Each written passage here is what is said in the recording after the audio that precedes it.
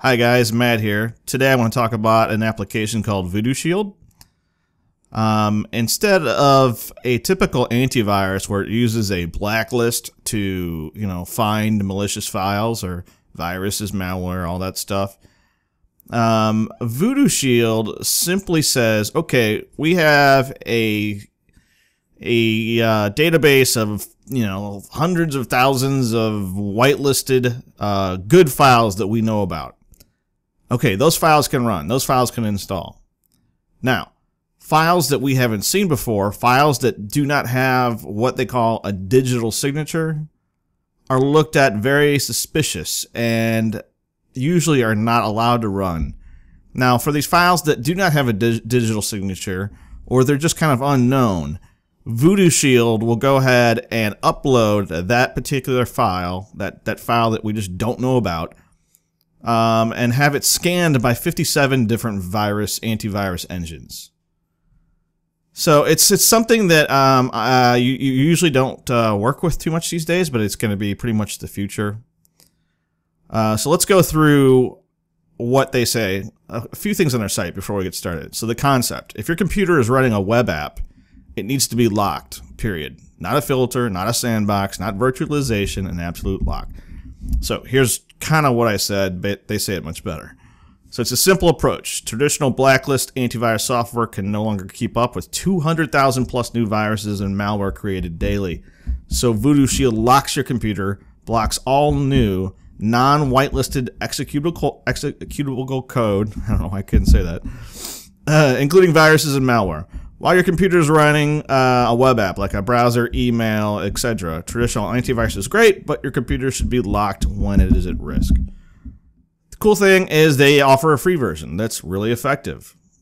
The uh, pro version you can see here, 19.99 a year per computer, offers a lot more stuff. Uh, but we're going to take a look at the free version today, version 3.45. We'll download it, keep it, 13.3 megabytes. And it's nice. They don't ask for an email or anything like that. So just no nonsense. Here's your download. So, um, I did today download some malware off my spam filter at work. Uh, I've got six of them, but I'll probably only be able to test like four, but you'll see how it works. So let's go ahead and install Voodoo Shield.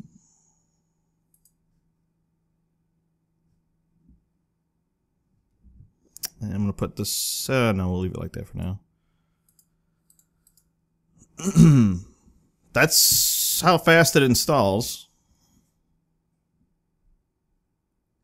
And we'll go ahead and run it.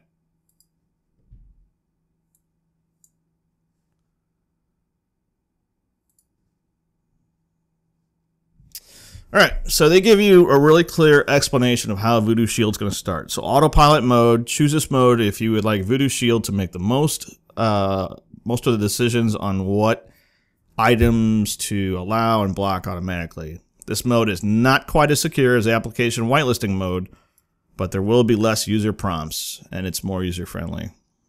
Application whitelisting mode. Uh, choose this mode if you would like to make the most uh, most decisions of what to allow and to block. This is slightly more secure, so this is slightly more secure than autopilot mode, but there will be more prompts and therefore not quite as user friendly. We'll take more prompts right now, that's all right. Then they come up with another set of ex, ex, uh, exclamations on uh, uh, how to actually run this. So this is the first time you're running Voodoo Shield on this computer, so it probably took a few seconds to take a white uh, take a whitelist snapshot of your system and save settings. Voodoo Shield now knows most of the software in your system that should be allowed when your uh, when your computer is at risk. Uh, once Voodoo Shield is active, Voodoo Shield will only allow software that is in your whitelist snapshot unless you choose to allow additional software. So unlike traditional antivirus software that tries to block all the bad stuff, we do the opposite and simply allow the good stuff that we know about already essentially. Voodoo Shield will start initially in smart mode, which will toggle on and off depending on if a web app is running or not. you can right click on Voodoo Shield desktop uh, shield uh, gadget at the bottom to change your settings. So, and then they give you some more explanations, but I'm tired of reading. You can read that. Pause it. All right, uh, let's go ahead and close that. Right now it's on because uh, it's on because I have Google Chrome running right now. If I close this, it shuts off. So we're not really protected um, by that uh, default setting. Uh, so if I, I'll show you what happens. If, if you're not running a web application and let's say you copy a file like off a USB stick or something like that, let's, let's test that. Let's just copy over a virus. And what we can do, I like I like this about Voodoo Shield. They offer a right click uh, a right click scan. So right click Voodoo Shield scan. And right away it comes up saying, okay, 12 out of 56 different engines detected this is bad. And it also says this file is not digitally signed. Bad. Okay. So you can close this for a second. If I want to open this, well, it's already gone. So it already detected it as bad and poof. Toast. Um, so let's go ahead and pull over.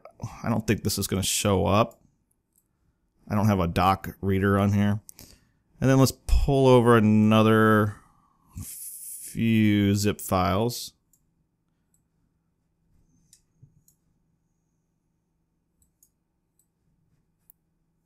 All right, let's minimize that now. Okay. Uh, let me try to scan this. Now, there is no reader for it. Okay, so only executable files can be uploaded for blacklist scanning or sandboxing. Alright, well, we'll ignore that for now. Or it will ignore that. try to open this guy up, and this has got some kind of JavaScript file. It says invoice. As soon as I copy to my desktop, let's try to run it.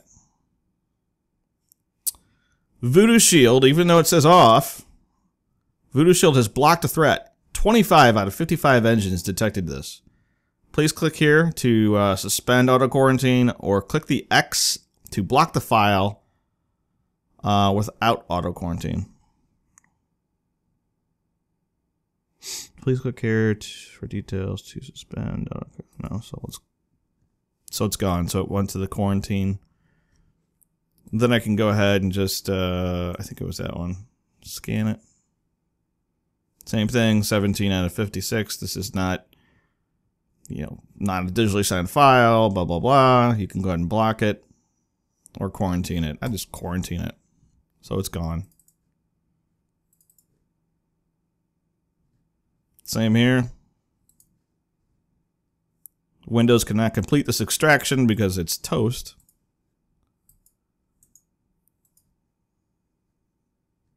By 56. So it's pretty awesome. I mean, it's scanning so fast against so many different engines.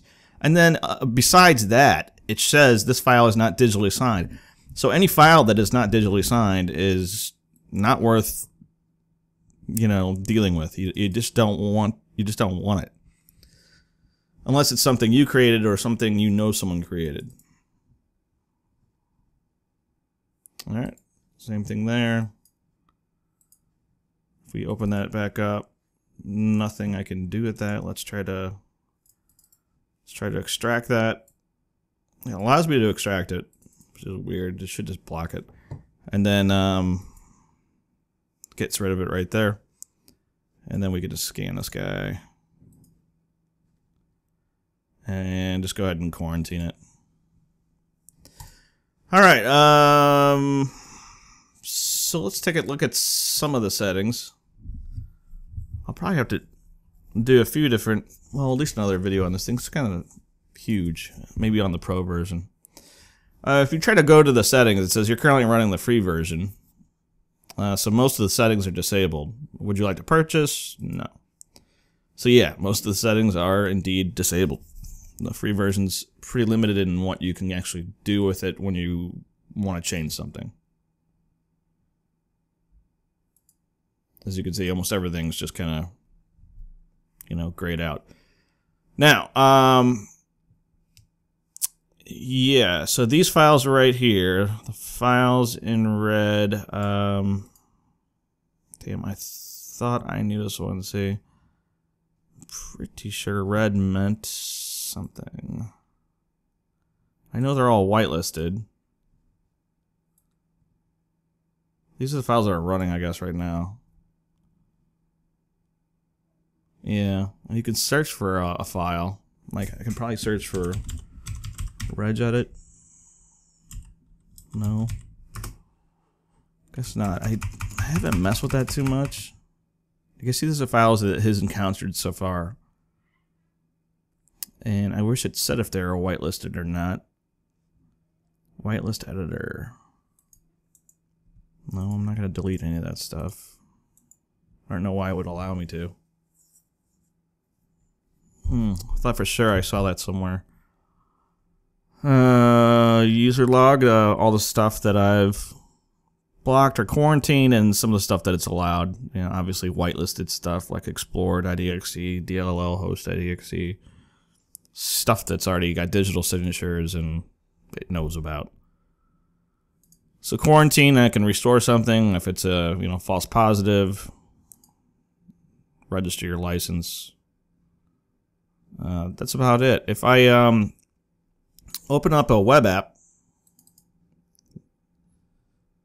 anything you can see this just turned on right now. So anything that I download, like let's try to download. Hmm, let's go look for iTunes on Yahoo. Yahoo just does a terrible job at uh, allowing any ads.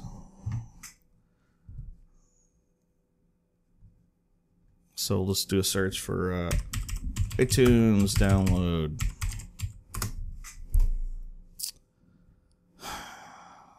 If we go down a little bit,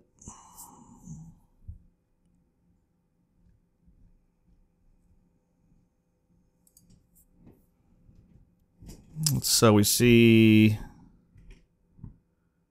Apple driver download, driver support. Oh boy, I just did this earlier today. Maybe I just did iTunes. There was a ton of ads that had fake iTunes, you know, download links.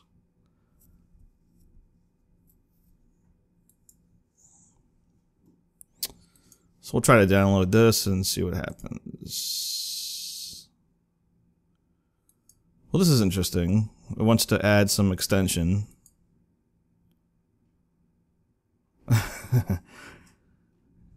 the extension seems to get added okay to Chrome. Hmm. I don't know. It's kind of weird.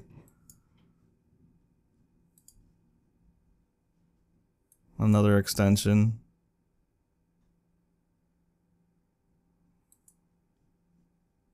Another extension.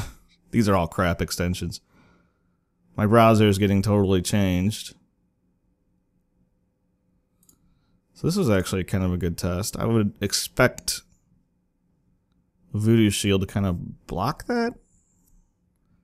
If I close this browser and this thing, all right, so let's close this. Hopefully this should go away once I reopen.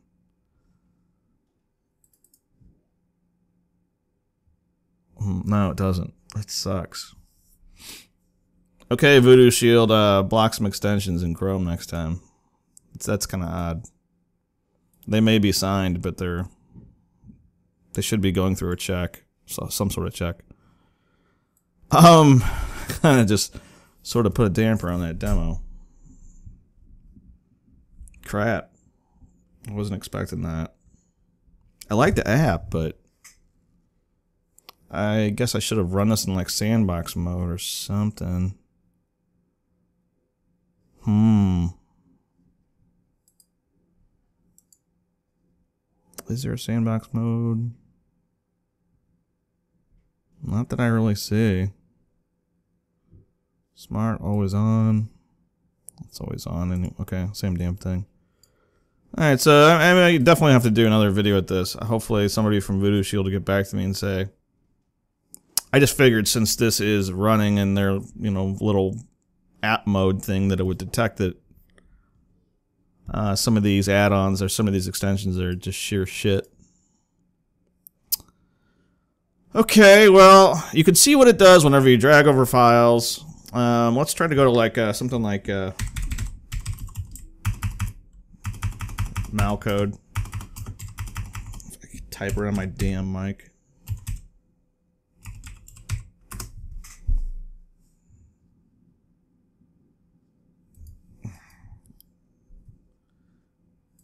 Let's just go into a stupid ask.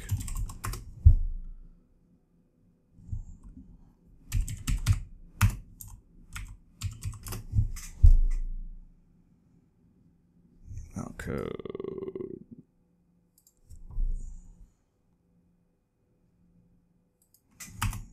Code database, that's what I'm looking for.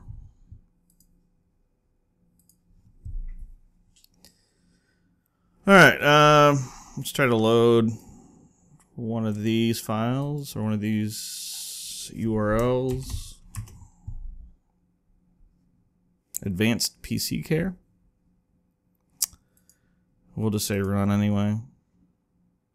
And Voodoo Shield blocks that with a 50 out of 57. So if it's blocking downloads and stuff, um, I would highly advise them to block things uh, like extensions uh, for browsers. Um, that's my only uh, gripe about this app. Otherwise, it's awesome. I wouldn't mind paying 20 bucks a year to block things that are accidentally, accidentally downloaded that don't have a di digital signature, but Again, I don't want someone like my daughter to come down here and start loading a, um, a crap ton of extensions, even though they're super easy to get rid of. Uh, you know, just do something about that. I'm not going to harp on it forever. uh, this is interesting. So it's a .jpeg.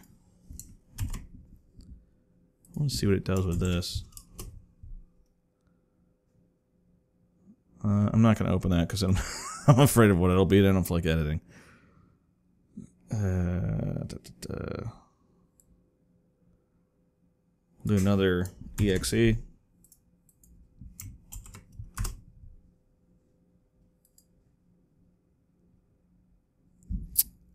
Uh, okay, it's already well known that it's bad. That's a problem with using like malcode. All this stuff is well known. Let's try to go for like a really new one here.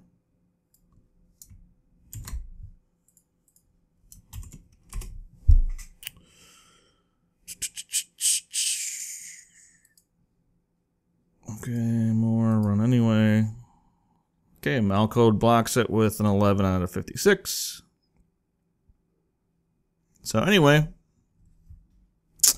uh, that's it for this little test of Voodoo Shield. I'm sure uh, I'll be doing some more with Voodoo Shield.